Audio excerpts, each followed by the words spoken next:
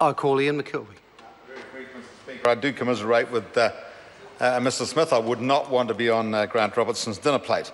The, um, the, the, um, Mr. Speaker, two very quick points. The levy will not put an impost on those who can't afford to pay it.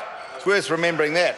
The second point about this is the levy also affords uh, a further protection to the income streams of rural and provincial New Zealand, thus boosting the, uh, uh, the potential for rural and provincial New Zealand to uh, participate or make a contribution to the government's uh, growth targets.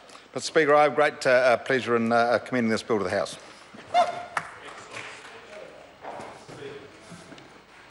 I call Steffan Browning. Thank you, Mr.